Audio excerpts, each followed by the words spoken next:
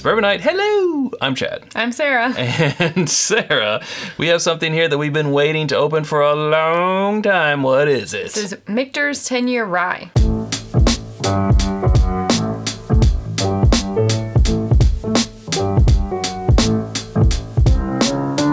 Ooh, Michter's 10 year rye. Now, this was a gift. This was a special gift. We actually got this from our friends at the Lexington Bourbon Society, like who as a community kind of went in together and got this for us for our engagement party. Yes. Man, you can't find a better group of I people than bourbon lovers, The right? LBS Selection Bourbon Society, been a member for over five years. You You've been a member almost since as long. 2014 or 2015. Oh yeah, you're right. Yeah, me too. Since probably 2016, I've been a member. I think. Mm-hmm. Just a great group of people, and and if any of you are watching who was a part of giving us this bottle, thank you very much. We love you. Uh, this is around a $160 retail. so we bottle? really love you. And I'm not even sure if, if they were able to get this at retail even because it is limited. Clap, clap, clap. Bunch of sweethearts. But this is, as we said, the 10 year old. Well, screw this bottle. It doesn't want to open up. Oh no. It's a 10 year old rye, Oh no. single barrel. It's really in there, you guys. Yeah. Oh! Ah, here we go. Oh, look out, everybody. Put on your protective eyewear. Pause for cork pop if I can get it off. No! It's okay. I can do it. I can do it. I can fix it. Shh. It's okay.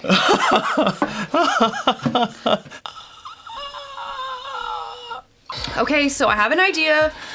Maybe this is not the right idea, but this is my only idea, so I'm gonna take a wine key. The threat here is that I just push it down in the bottle, which could, Don't do that. well, there's nothing I can do. If that happens, we will have to transfer this to a new bottle and sieve the cork pieces out. Yeah. So, And there it goes. Oh, Let this be a lesson. what a tragedy! And there We got is. engaged in 20 December of 2018. So we've had this since February of 2019. It's so sad. It's just floating in there.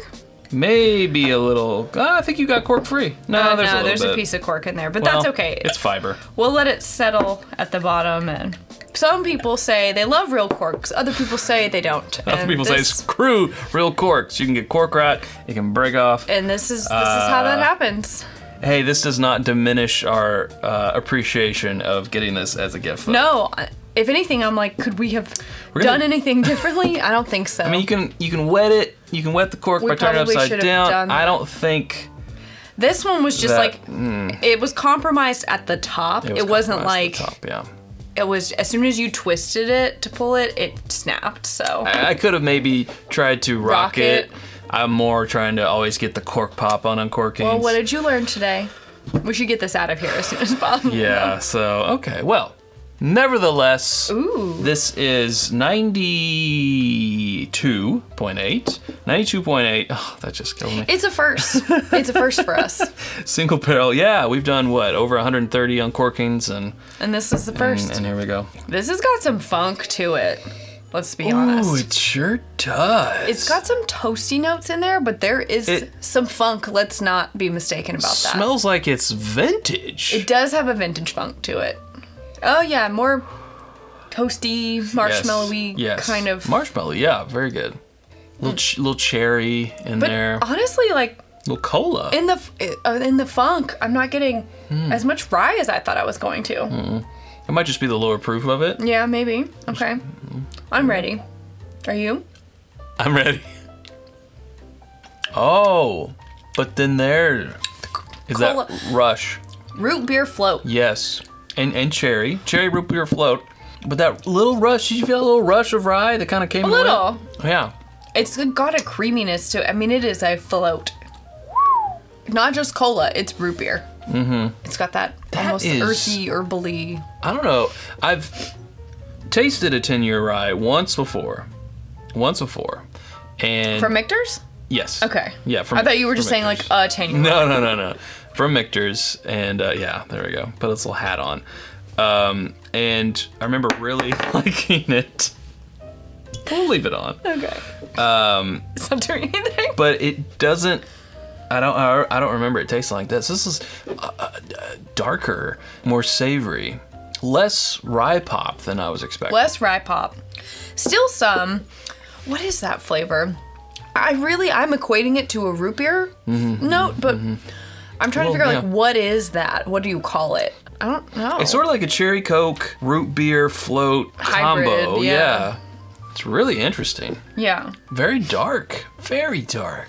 Well, I wanted to, to read this. Read it to Um, us. This is from the Whiskey Wash, uh, thewhiskeywash.com. Love them. Great place uh, to get some bourbon and rye information. So this is from uh, Michter's Master of Maturation, Andrea Wilson. We've met her several times. Andrea, we were on a panel together with Yep. Peggy. Mhm, Great lady. She said, this is a quote, there's nothing quite like really good rye distillate that's been aged with thoughtful care for over a decade in a barrel that's been toasted and then charred in a warehouse that has been heat cycled to produce a deep, rich flavor profile perfect for sipping. Okay, End well.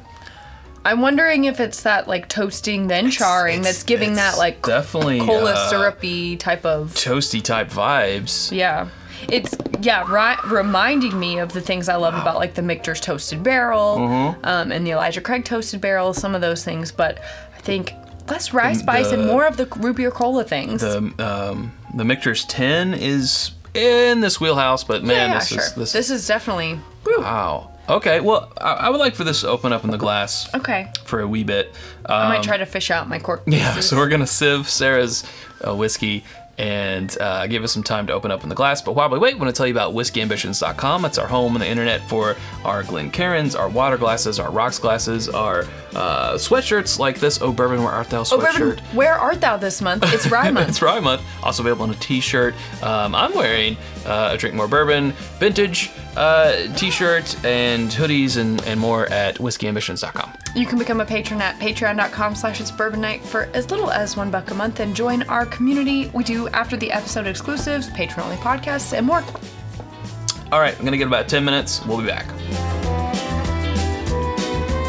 And we're back. We've let it sit here, and while we're waiting, we did a little looking at the bottle. Um, right here on the neck tag, this is uh, 17A16. So we think it is from January of 2017. Yes. Uh, so it's it's it's been It's been hanging out for a while. it's a no wonder that the cork broke. in my actually. mind, right? In my mind, I'm like, oh, that wasn't that long ago. And I'm like, no, that was four That was four ago. years ago. That was the year after we started this channel. Whoa, So the first full year of us being in existence, YouTube wise, this was this was waiting for us. sweet. Yeah, yeah. We've let it sit. Uh huh. I'm sorry, I'm just trying to avoid. She- I can't. She's still on with the cork bits. I think I'm just gonna have to suck it up. And, You, I think, I think so. It's more syrupy now. Do you want to trade? We will trade. More syrupy, right? a little more syrupy, yeah. Yeah, it's more. Ooh. I'm feeling this cola vibe still. Oh yeah, that's still there, but it, uh, it's more inviting, more like it smells like it's gonna be really viscous and just awesome mouthfeel and all that jazz. I agree. Yeah, the toasted notes are really coming through on the nose, making it that. Hmm. I think what I would normally say with when I say toasted, like half toasted, Michter's toasted oak or um or toasted barrel, and then the Elijah Craig is like I'll say like burnt marshmallows Yeah. and that type of thing. I think that's where I'm getting the root beer float, like the ice cream yeah, and that syrupiness of the creaminess. beverage. Um, But it's yeah. t- almost marshmallow like, but it's not. I love how this goes like Coke float, palate, finish root beer. Mhm. You don't even like root beer. I don't, but I don't mind this. No, I don't mind this either. And there is a nice oakiness in there too. Mm-hmm. I think really rounds it out on the finish. I love how it's.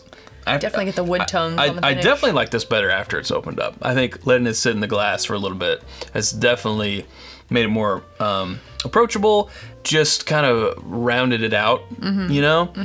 I really like this. It's very unique. I can say that about it. It's Mm-hmm. not like most ryes that we've had before. I will 100% agree with you there, Chad. Yeah. If I was a rye lover looking for a rye lover's product, I don't know how I would feel about this, but I think people who just enjoy whiskey or bourbon, in general. Michter's in general, like this is this is nice. Mm-hmm. I like it. yeah. I'm very glad we have a bottle. Yes. Same. so Um, overall, overall, okay, 160 limited. proof but the flavor and the experience. Like for me, proof is not a thing Oh. in this one. And I think what we've learned here in Rye Month, January have. 2021 for us, has been when it comes to ryes, maybe proof doesn't matter as much as it does with bourbons. I agree. Uh, this one being just under 93 proof, I'm not missing that it's not a barrel proof. Same. I feel like I'm getting good flavors, good mouthfeel, like interesting, complex. I'm into it. tastes like a vintage. Like It's fun. I really feel like this is from the 80s or something. it could be f- like if you put this for someone blind, I think this would just be throwing them for a total. Oh, It would be fun though. This would be a fun one if you could do it blind. I might have to do a hail mary and say mm, Michter's, like just like because Question mark? because I would be like, well, it's not turkey, it's not buffalo trace, it's not you know. It's more of a game of what is it's not. Yeah, uh, Michter's. You're right. Whoa! Is there a question mark in the teleprompter? Yeah, exactly. But a great experience. Thank you again to the Lexington Bourbon Society members who were so kind to gift this to us. Um, We are not our, deserving. On our anniversary, we're not deserving. On our engagement party. Uh, engagement. Yes. yes. Engagement, anniversary. Well, we said they gave us another bottle too, and we said we would open that one on our anniversary. That- Maybe. That is a Blanton's Silver, which isn't made anymore. But that we'll do it for this one. Um, yeah. If you haven't subscribed to us already, you can click right up here to do so. There's suggestions of other videos down here. Thank you, Sarah. Thanks, Chad. Thank you, LBS. And until next time, drink more rye.